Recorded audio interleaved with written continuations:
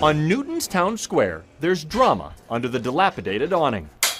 Construction crews have been ripping apart the century old theater for months, Part of the discovery were these moldings. blending ornate history with leathered comfort. There isn't a bad seat in the house. But one day before opening, It's incredible. I mean, I am so excited. everyone was on edge because the theater's drama queen It's joy. had just pulled up. Today's your day. Yes, it is. Should we get your dress on? Huh? ready to inspect her silver screened palace.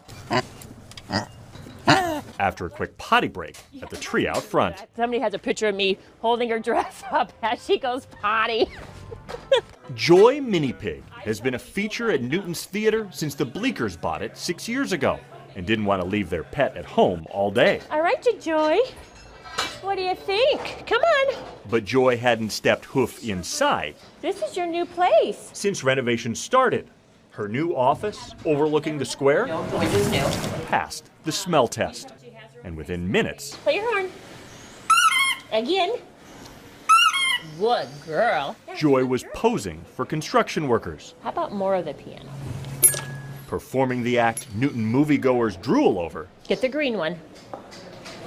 There you go. And sprawling out on her new purple daybed. She's very much a diva. Very much. Yes, you are, aren't you? Satisfied the new stuffed animals for sale next to the Twizzlers looked enough like her.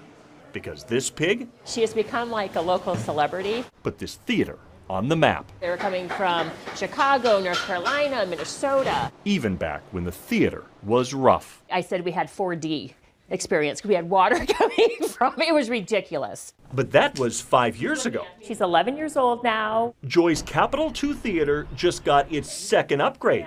And the star? Well, she's still a diva. I mean, she will still give me attitude. And now it's earned. Because, like her window to the square now reads, she is a Guinness World Record title owner. She has the most tricks in a minute by a pig. Can you take it off?